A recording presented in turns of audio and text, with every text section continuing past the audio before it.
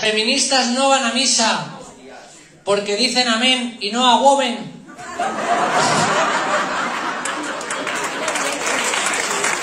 Hoy es mi último día en el Ministerio de Mujeres, Género y Diversidad. Muchas gracias, ¿eh? Muchas gracias por los servicios prestados. Ya no los estaríamos necesitando, ¿eh?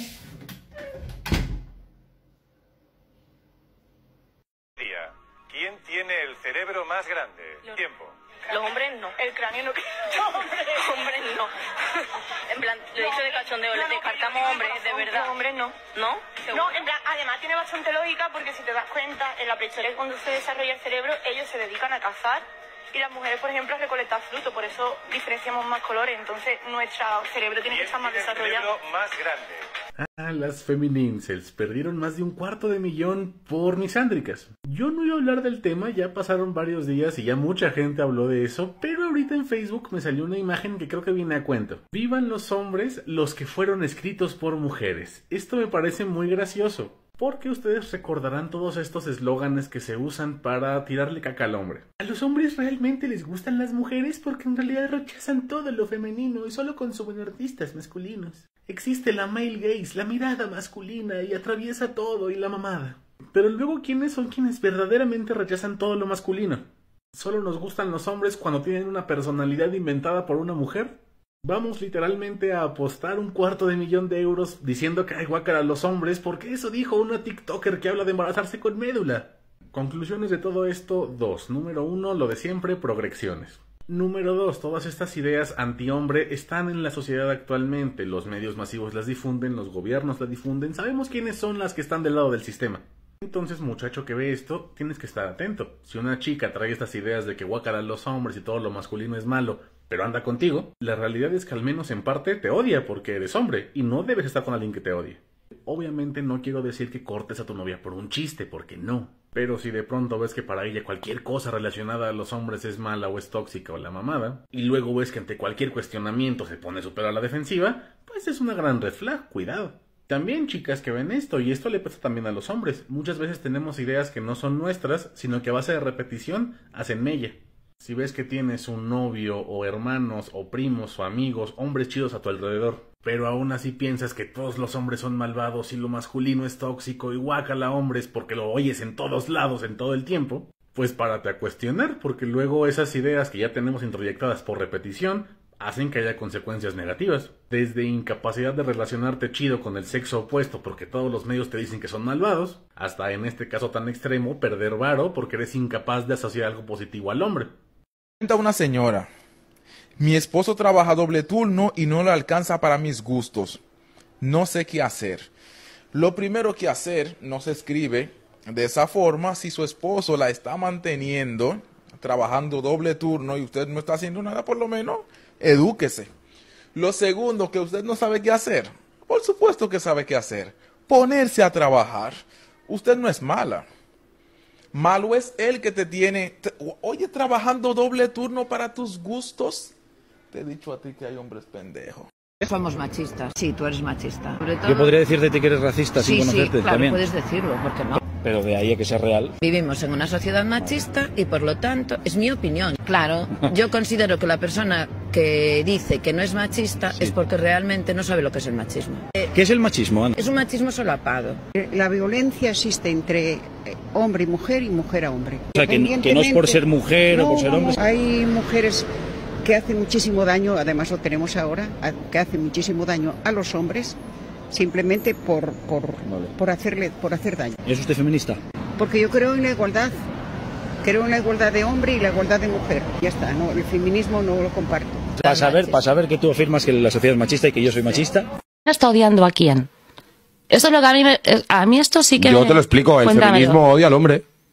Yo el feminismo el que considero es el de la igualdad. Entonces no considero que yo tenga ningún problema de odio Pero con es que qué igualdad, si ya hemos dicho previamente que no es viable, no es factible la igualdad de derechos. Es que, es que hay que matizarlo. Pero ¿por qué esto Yo digo, ofende? Yo, yo- yo te- esta es mi pregunta. ¿Por qué esto ofende? ¿El ¿Por qué? qué ofende que de repente un grupo de personas en la sociedad estén hablando de las cosas que ellos también quieren hacer en el mundo? ¿Por qué esto que es no malo? ofende eso, ofenda que tengas 497 leyes en las cuales tú, te, tú seas la beneficiaria y yo sea la víctima. Ella tiene que aflojar nada, ni tú siempre tienes que pagar la primera cita. La primera salida siempre la debe pagar el hombre.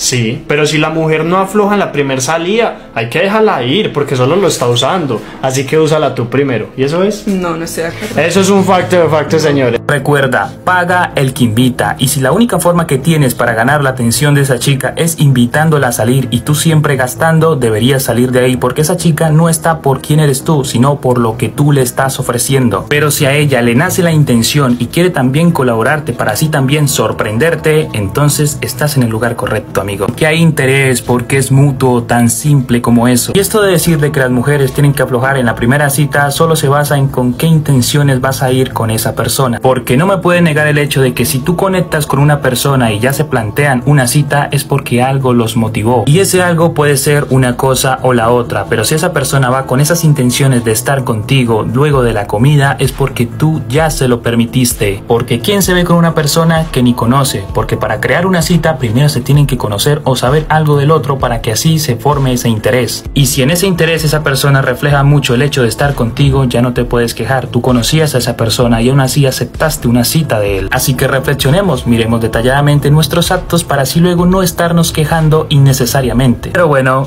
dime tú qué piensas. Bueno, ya nos reímos en el post anterior, ahora voy en serio, para concluir.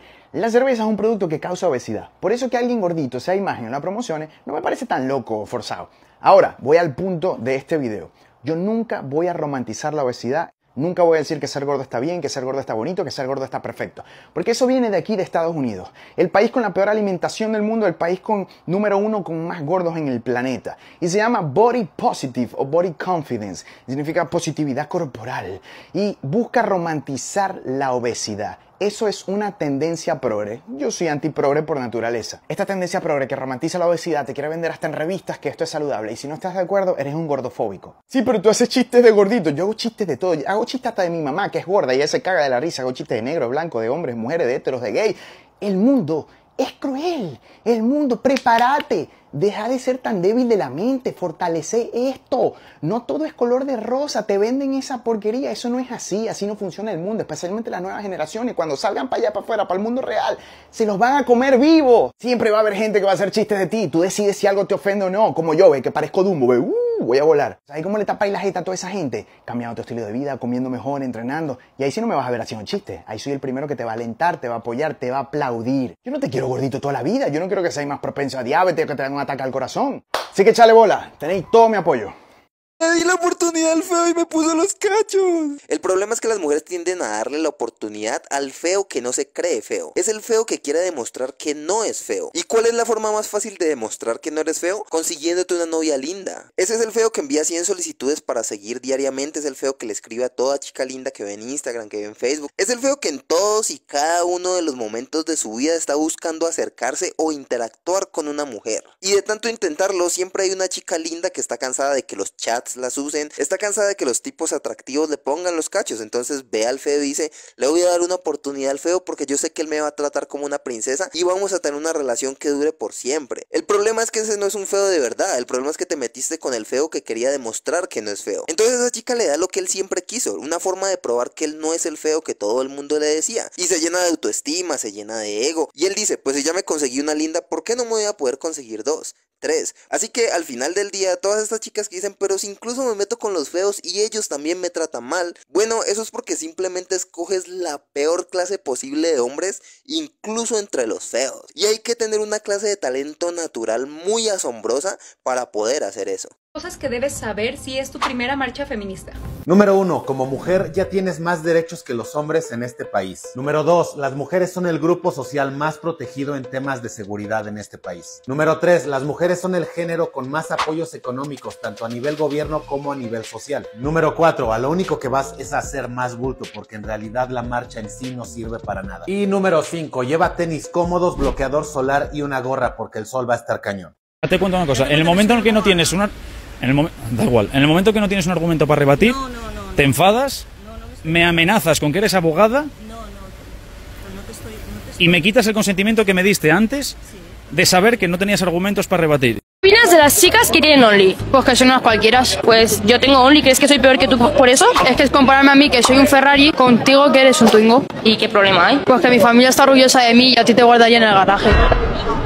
Qué jodida respuesta, pero ¿en qué se está equivocando? Porque aunque tú seas la que eliges, ¿qué imagen estás proyectando a tus amigos o a tus familiares? Que quizás tengas un familiar que te quiere mucho y te apoya en todo lo que haces, pero no pueden verte como un ejemplo porque moralmente está demasiado mal, ya que el hecho de vender contenido se relaciona al trabajo más antiguo del mundo. Que ojo, no digo que esté mal, cada quien trabaja en lo que quiere y en lo que le gusta, pero no puedes compararte ante una doctora, ante una abogada, ante una empresa empresaria solo porque tú vendes contenido. ¿Que puedes ganar más? Claro, el morbo controla el mundo, pero cuando salgas a la calle o te ve algún familiar no te van a ver con orgullo. No como pueden ver a una cirujana que destaca por su gran capacidad y gran inteligencia. Pero bueno, yo supongo que las creadoras de contenido ya saben esto y aún así lo aceptan. O no sé, ¿qué piensan ustedes? Privilegios de ser hombre. Tenemos mayor probabilidad de desvivirnos a nosotros mismos. Pero hey, aunque nosotros seamos como el 50% de la población del mundo y aún así seamos como más del 80% de los suicidios a nivel mundial, ¿eso a quién le importa? En un conflicto armado tenemos la mayor probabilidad de perecer como un NN, un simple número más en una zanja desangrándose hasta la muerte. Pero hey, ser forzado contra tu voluntad a luchar por una causa que no respetas por un país que ni siquiera te importa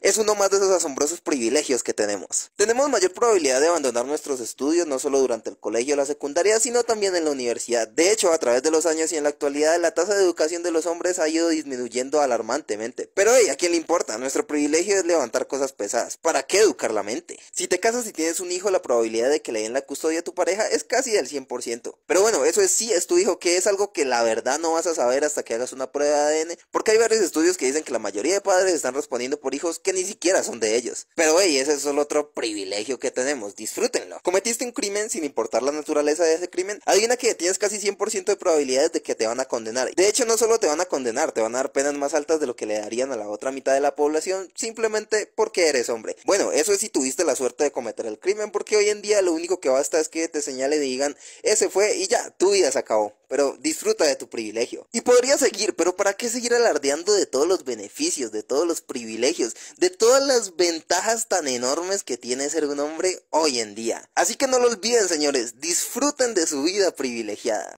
Si el hombre no te gusta, no le aceptes comida muerta de hambre.